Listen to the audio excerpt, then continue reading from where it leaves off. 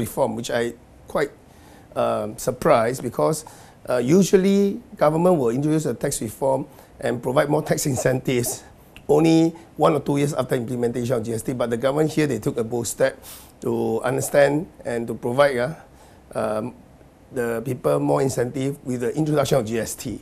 And the rate uh, of the income tax bracket has reduced uh, from say uh, by another one to three percent, depend on the income tax bracket. And the tax bracket, maximum tax bracket also in, has increased from 100,000 to 400,000. So all this is made possible. There must be somewhere to raise other tax revenue. And thereby I think because of the tax incentive, the changes of the income tax, uh, which immediately they have introduced, uh, which result also a, a, a large uh, expenditure.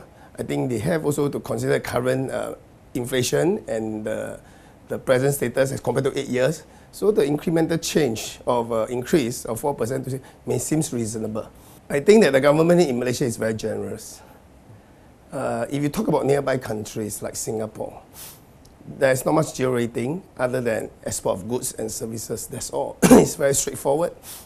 Um, whereas the government here, I think the authorities are very concerned about the reaction and the livelihood of the people, whether they'll be impacted, uh, greatly impacted by GST. That's why they introduced zero ratings such as uh, local supplies of uh, basic foodstuffs, you know, even uh, water, you know, and also uh, uh, in addition to export of goods and services, uh, it has already widened the zero rating, I mean, zero rating mark, uh, basket of goods. And if you further expand these goods or services, then there may not be a reason uh, for introduction of the GST because the main purpose of uh, introducing GST is to have a broad-based consumption tax. When you talk about broad-based, that means more of the goods and services to be subject to GST and not lesser and lesser.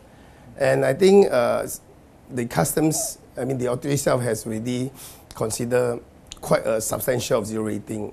And it, to, it may not be a good idea to expand further because uh, the fundamental of GST introduction is to tax on goods on the goods and services to the final consumer. So if less is tax, then it may not defeat the purpose.